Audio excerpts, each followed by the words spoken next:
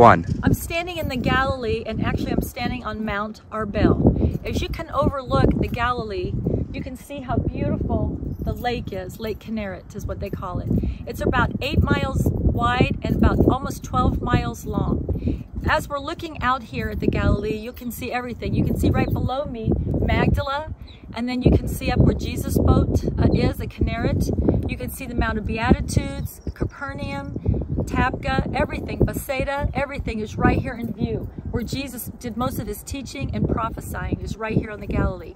Across from me is Kursi, where Jesus uh, had the pigs come out of the man. He had legions of pigs and, and thrown over the cliff right here. This is also where Jesus walked on water and met most of his disciples. It's also at Tabgha where Jesus redeemed Peter three times after he was denied three times in Jerusalem over a uh, coal fire.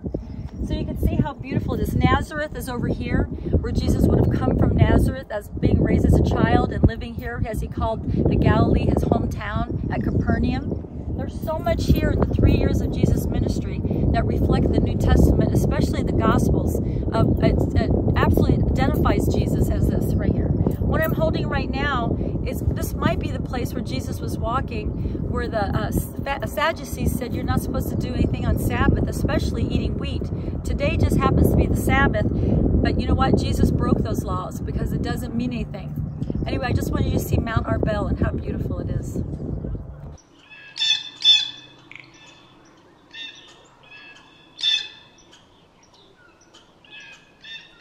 Uh, this is this is the mustard seed. This is the mustard seed. This is the wild mustard seed. This is the flower that basically we have it spread all around, mainly the Galilee. Some other places as well, but mainly the Galilee. And if you walk here, if you walk and, and, and you hike and walk, this is the main flower that bloom in this time of the season, like the early, early spring and not by accident.